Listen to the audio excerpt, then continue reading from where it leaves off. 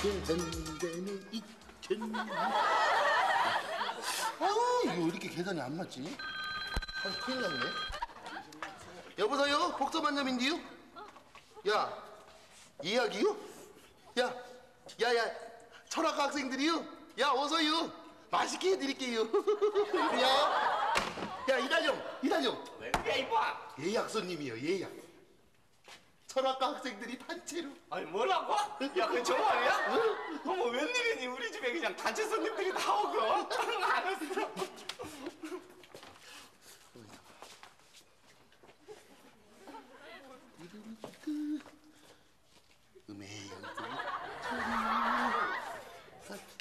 빨리 좀 거야? 아 이래야 빨리 먹고 나가시지 아, 돌쇠이 무슨 일이야?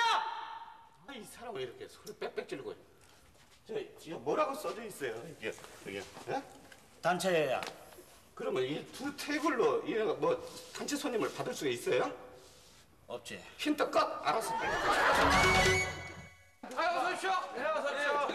예약했는데요. 아 예약 손님이구나. 아 이쪽으로 들어오세요. 예, 예약 손님이다. 예약 손님. 어서들 앉으세요. 아 진짜 빨리 들어오세요.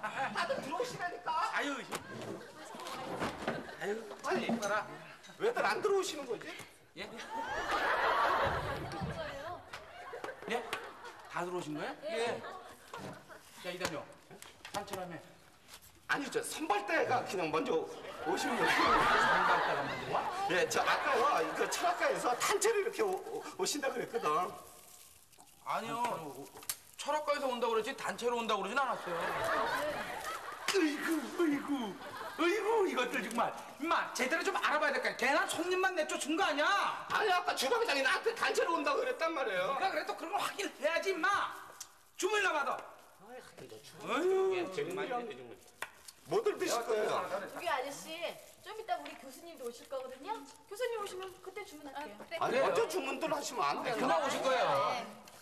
아 이제 아, 나가주세요 아 여기 출입기 그거 못 봤어요? 잡상인 출입금지라고 그게 아니고요. 그게 아니고 뭐 우리 음식점은 교수님! 거야 똑같은 거 치고 어, 어, 잘한. 어, 이 교수님 여기에요. 어.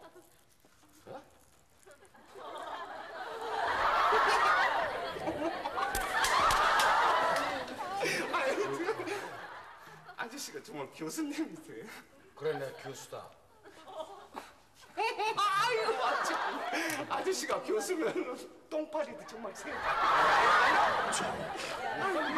교수한테가 무슨 말버릇이야? 교수님 이리 앉으세요. 교수님 여기 앉으세요. 앉으세요. 자, 오늘 내가 사- 살 테니까 먹고 싶은 거 마음껏 먹으라고. 교수님이요? 어, 나는 짜장면. 아스를 시켜. 저도 짜장 먹죠 뭐. 나도 짜장면이나 먹지 뭐. 그래 뭐 짜장이 어떠냐? 나도 짜장 먹지 뭐. 그래 그럼 난 간짜장. 맞춰달라는 얘기지. 아, 예. 저희 간 맞춰서요. 짜장 다섯 개요. 네 알았습니다 예. 야 주방장 보래 짜장 다섯 개다 아카데믹하게 근데 정말 철학하세요? 그럼요. 잘 됐다 저, 저 손금 좀 봐주세요 여보세요. 우리 철학과 학생들이 무슨 손금 보는 거예요? 우리는 학문을 연구하는 학생들이라고요. 아 우리 동네 그 봉화 철학관하고 그러면 여기 철학관이랑 달라 이달령. 자, 죄송합니다. 예.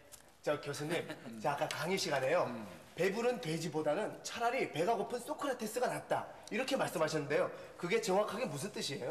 아, 그건 말이지. 아니 가만 있어봐요 아니 교수가 돼갖고 학생들 어디 어떻게 가르치는 거야 아니 뭐야? 배부른 돼지보다 배고픈 소크라테스가 더 낫다고요? 네. 아, 참 기가 막혀서.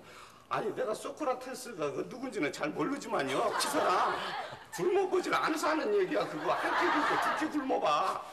눈에 뵈는 게 없어. 이봐, 이봐, 이봐. 자네 가서 일이나 해. 아니 그게 아니라요. 제가 우리 집에서 돼지들하고 지금 쭉 생활을 해봐서 아는데 이 돼지들은요 배가 불러야지만 움직인다니까 무슨 배고픈 소크라스가 더 나아. 아저씨 밝으신 것 같은데요. 뭐 하나 질문해도 돼요? 아유 얼마든지 질문 한번 해보세요 재밌잖아. 저 탕수육을 시킬 때요 소스를 확 부어 먹는 사람하고요 소스를 하고 찍어 먹는 사람하고 어떻게 틀려요? 아, 그거는요, 저 인간성 차이라고 볼 수가 있죠. 인간성이. 예. 저 있잖아요. 네. 저 지금 들어간 저 뚱뚱하고 아주 인간성 더럽게 생긴 저런 작자는요, 이 탕수육을 먹을 적에 쫀쫀하게 이 탕수육을 소스에 툭툭 이렇게 찍어 먹고요. 이 저 같은 사람은 탕수육을 그냥 확 부어갖고 쌀에 이렇게 팍 먹고 그리고 그 중에서도 정말 정말로 이 쫀쫀한 사람이 있어. 어떤 사람이에요? 먹다 남은 그 탕수육을 싸달라고 그러는 사람. 아니 물론 집에 있는 그 개를 갖다 준다는 그 하찮은 핑계들 대고 말이야. 에? 하지만 음식을 다 먹자마자 딱 이걸 싸달라 그러잖아. 딱 싸주면은 그냥 뒤를 보, 돌아보지도 않고 그냥 막 뛰는 거야. 왜요? 식을까 봐.